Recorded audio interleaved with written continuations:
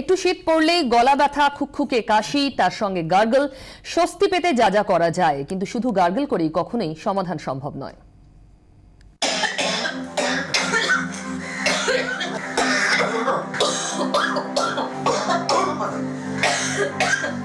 ঠান্ডা পড়লেই বিহানি পরিবারে এটা খুব কমন ছবি। বাচ্চা হোক বা বুড়ো, গলা ব্যথা, সর্দি কাশিতে ভোগের সবাই। রাতে শুয়েও বিপত্তি। ঘুম আসে না শাশুড়ি বৌমার।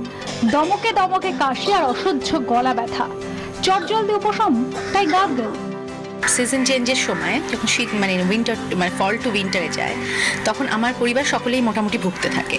গলায় ব্যথা কাশি সর্দি হাঁচি মানে এটা সকালবেলা উঠলে তো প্রচণ্ড কষ্ট। গলায় একটা কনজেশন থাকে মানে কফটা উঠে পড়লে ভালো হয়। তো সেই সময় নর্মালি আমরা যেটা করি গার্গেল করলে একটা রিলিফ পাওয়া যায়। সকলের কাশি সর্দি গলা ব্যথা আর এর তো রেমেডি বলতে আমাদের ওই হয় ওষুধ, সারাক্ষণ। আর না হলে পরে যখন বেশি হয়, তখন আমাদের ওই গার্গল করতে হয়। দিনে রাত্রিরে দু তিনবার তো হয়েই যায়। গার্গল করলে পরে এই গলার এই জায়গাটায় খানিকটা আরাম হয়। তা সেটা সাময়িক। শাশুড়ি ইভা বিহানি হোক বা আইনজীবী বৌমা, পাপিয়া, ছোট থেকেই সবাই শুনে এসেছেন সর্দি, কাশি, গলা ব্যথা মানেই গার্গেল তাই গলা ব্যথায় গরম জলে একটু নুন ফেলে গার্গেল সেরে নেন ওরা। থেকে আমরা এটা জেনে এসেছি যে সর্দি কাশি গলায় ব্যথা মানেই প্রথম পদ্ধতি মানে নিরাময়ের প্রথম পদ্ধতি হচ্ছে গার্গেল করো। উঠে রাত্রির বেলায় হয়তো একবার ওভেনে জল গরম করে নিলাম করে নিয়ে একটু নুন ফেলে দিয়ে গার্গল করে এলাম তাহলে রাত্রিটা ঘুমোতে পারি। কিন্তু গলা ব্যথার আড়ালে অন্য কোনো বড় রোগ শরীরে বাড়ছে না তো? যদি তাই হয় তাহলে উপায়? গার্গেলে তো সেই গলা ব্যথা সারবে না। করব না কি না সেটা তো এক্ষুনি বলতে পারছি না। চিন্তা করতে হবে কারণ এর চেয়ে যদি ভালো ফলপ্রদ কোনো কিছু পাই আমরা তাহলে সেটাতে নিশ্চয়ই যাব। এবার থেকে গলা ব্যথা মানে শুধু গার্গেল নয় নিতেই হবে চিকিৎসকের পরামর্শ।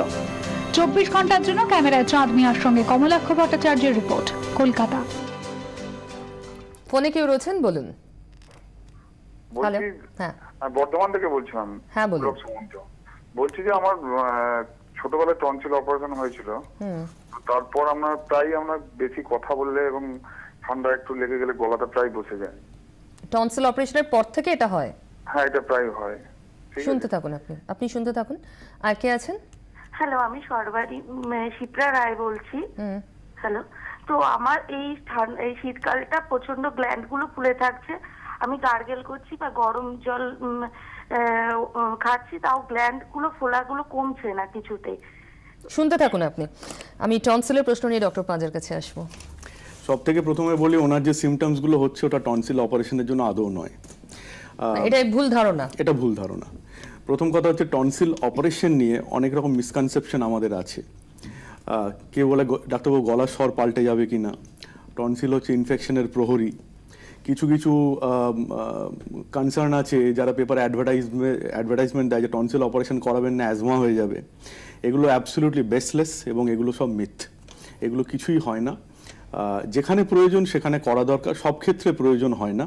আজকের দিনে infection as a cause of tonsillectomy tonsil operation অনেক কমে গেছে বিকজ অফ গুড অ্যান্টিবায়োটিক্স ভালো অ্যান্টিবায়োটিক এসে যাওয়ার ফলে আমাদের আগে যত বেশি টনসিল অপারেশন হতো এখন কিন্তু অত হয় না প্রথম কথা।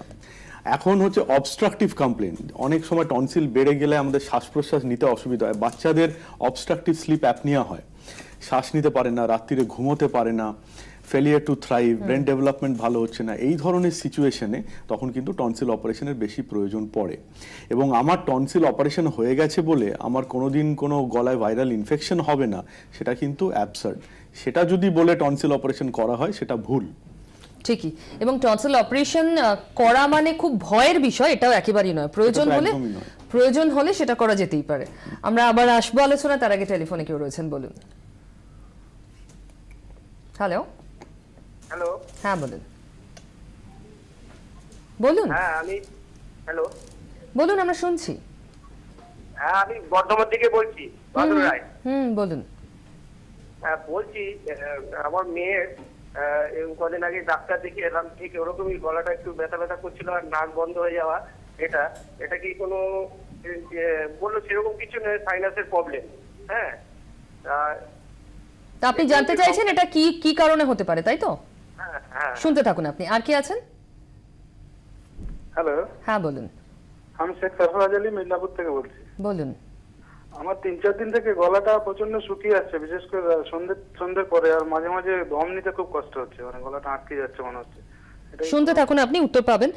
এর আগে যিনি প্রশ্ন করলেন ডক্টর সেনগুপ্ত বাচ্চা মেয়ের ওই গলা বন্ধ হয়ে যাচ্ছে, নাকের সমস্যা হচ্ছে, নিঃশ্বাসের। হ্যাঁ আচ্ছা এই নাকের সমস্যাটা যেটা হয়, সেটা সাধারণত কি হয়, নাকের ভেতরে যে কাভারিংস বা মিউকাস মেমব্রেন যেগুলো থাকে, তা সেটা যদি কোনো কারণে ফুলে যায়, ধরুন ইনফ্লামেশন ইজ মেন কারণ, তার জন্য যদি ফুলে যায়, তখন নাকটা সিক্রিশনস বেশি হয়, বন্ধ হয়ে যায়।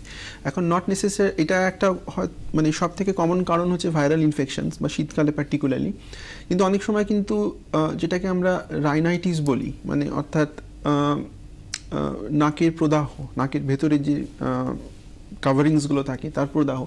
সেটা ইনফেকশন থেকে যেমন হতে পারে আবার সেরকম কোনো অ্যালার্জি বা এরকম কোনো কারণেও হতে পারে। তো সেই দিকটা আমাদের একটু খেয়াল রাখতে হবে যে এটা একটা চেক আপ করিয়ে নেওয়া ভালো। নিশ্চয়ই। এবং এটা যদি ঘন ঘন হয় তাহলে হয়তো একটা অ্যালার্জি বা সেকেন্ডারি টু সাম ইরিটেশন হয়তো ধরুন বাড়িতে কেউ ধূমপান করেন বা এই কারণে হয়তো ইরিটেশন হচ্ছে যার জন্য হচ্ছে। মানে কিন্তু যদি একাধবার যদি হয় কিন্তু আরও একজন প্রশ্ন করেন গলায় গ্ল্যান্ড ফুলেছে কিন্তু গার্গল বা অন্য কিছু করেও সেটা কমছে না কিছুতে আচ্ছা এবার গ্ল্যান্ড ফোলা মানে অনেক সময় আমরা ধারণা গ্ল্যান্ড মানে আমরা এই বাইরের যে লিম্ফ নোডসগুলো দেখি আমরা সেগুলোকে অনেকে কমনলি গ্ল্যান্ড বলে। ইয়ে করি আমরা। তো সাধারণত গার্গলে তাতে খুব একটা লাভ হবে না। এবার যে কোনো ইনফেকশন যদি আমার নাক কান গলা এই উপরের অংশতে যদি হয় আমার গ্ল্যান্ডগুলো এমনিতেই ফুলবে এবং সেটা নিজে নিজেই কমে আসে। সাধারণত মোটামুটি যদি আমরা এক থেকে দেড় মাস টাইম দিয়ে আমরা দেখব যে আস্তে আস্তে আস্তে আস্তে করে ওটা কমে আসছে তার সাইজগুলো তো সেই ক্ষেত্রে গার্গল হয়তো আলাদা করে তাকে খুব একটা হেল্প করবে না। কিন্তু যদি টনসিলের গ্ল্যান্ডের কথা উনি বলে থাকেন সেক্ষেত্রে গার্গল করলে গার্গলটা কিন্তু তার গ্ল্যান্ডের সাইজ কমাতে সাহায্য করবে না। তাকে হয়তো কিছুটা রোগের উপশম মানে আরাম তার দেবে। একটা আরাম দেবে। এবং তার বডির নিজস্ব নিয়ম অনুসারে আস্তে আস্তে আস্তে আস্তে করে গ্ল্যান্ডটা কমে আসবে। ঠিকই। তার মানে গ্ল্যান্ড যদি দীর্ঘদিন এক দেড় মাস পরেও না কমে আপনি একবার চিকিৎসকের পরামর্শ নিন। আর কে আছেন টেলিফোনে হ্যালো। হ্যাঁ বলুন। আমি বর্ধমান থেকে বলছি শুভেন্দু চট্টোপাধ্যায়। বলুন। আচ্ছা ডাক্তার পেটের কোনো অসুখ থাকলে কি গলায় ব্যথা হয়? শুনতে থাকুন আপনি উত্তর পাবেন। আর কে আছেন? হ্যালো। হ্যাঁ। বলুন। হ্যালো। হ্যাঁ। বলুন। আহ, আমি সাদা থেকে তপর মান্য বলছি। হুম বলুন। আচ্ছা হয়েছে কি আমার গলার প্রথম কি? গলার সমস্যা আমার একটু বরাবরই থাকে একটু গাল মাইনা করি। একটু একটু দু একটা গাল করলে গলা ধরে যায় আর কি। দু একটা গান করলে গলা ধরে যাচ্ছে। হ্যাঁ। কি করে এর থেকে বেরোবেন সেটাই জানতে চাইছেন তো? হ্যাঁ হ্যাঁ হ্যাঁ। শুনতে থাকুন। ডক্টর পাঁজা গলা ধরে যাওয়া আহ, সমস্যাটা যদি থাকে বিশেষ করে যারা উনি দু- গান করছেন তার মানে নিশ্চয়ই voice user professional voice user বলি আমরা। তো তাদের এই ধরনের ভোকাল কর্ডের প্রবলেম নানা রকম হয়। অনেক সময় ভোকাল কর্ডের নডিউল হয়ে যেতে পারে পলিপস হয়ে যেতে পারে বা ক্রমাগত চাপ ফরার ফলে হেমারেজ হয়ে যেতে পারে ফুলে যেতে পারে। যদি দীর্ঘদিন জিনিসটা থাকে এবং জিনিসটা ঠিক না হয় বারবার হতে থাকছে ধরুন আপনি এক সপ্তাহ দু সপ্তাহ ট্রিটমেন্ট করলেন তা সত্ত্বেও ঠিক হচ্ছে না তখন আমাদের একটু ছবি করে দেখতে হয় ভেতরে। ভোকাল কর্ডটা কি অবস্থায় আছে? অ্যাকচুয়ালি প্রবলেমটা কি? তার মানে ওনার একবার ডাক্তারের কাছে গিয়ে চেক করিয়ে নেওয়া দরকার। আচ্ছা আরও একজন প্রশ্ন করেছিলেন যে পেটের সমস্যা হলে গলায় কিছু হয় কিনা তার সঙ্গে ব্রেকের আগের একটা প্রশ্ন আমি জুড়ে দেবো। ঘুম থেকে উঠলে গলার কাছে মনে হয় কিছু আটকে আছে। ঘুম থেকে উঠে গলার কাছে আটকে থাকার এটা it's a very common problem actually অনেকে এই কমপ্লেনটা করে। দু তিনটা কারণ থাকে। এক হচ্ছে, কিছু পেশেন্ট থাকে যারা মাউথ ব্রিদার হয়। হয়তো তাদের নোজ ব্লক থাকে, কোনো রকম হয়তো নাকের ভেতরে হাড় বাঁকা আছে বা কোনো পলিপস আছে, মুখ খুলে শ্বাস নেন এবং সকালবেলা গলাটা পুরো শুকিয়ে কাট হয়ে যায়। বিশেষ করে উইন্টারে এটা বেশি হয়। সেকেন্ড হচ্ছে যাদের অ্যাসিডিটির প্রবলেম আছে পেটের সাথেও এটা ডেফিনেটলি জড়িত। অ্যাসিড রিফ্লাক্স অ্যাসিডটা ওপর দিকে উঠে স্পেশালি যারা রাত্রিরে একটু অ্যালকোহল নেন বা মদ্যপান করেন তাদের এটা আরও বেশি দেখা যায়। আচ্ছা। এই অ্যাসিড রিফ্লাক্সের জন্য গলার একটা প্রচণ্ড সোরনেস বা ইরিটেশন এটা কিন্তু হয়। থার্ড প্রবলেম হচ্ছে যাদের সাইনাসের প্রবলেম থাকে।